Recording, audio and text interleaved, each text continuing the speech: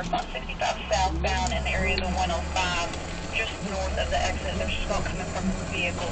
Your number's going to be 7. Your operations fire channel 2. Your timeout is 1870.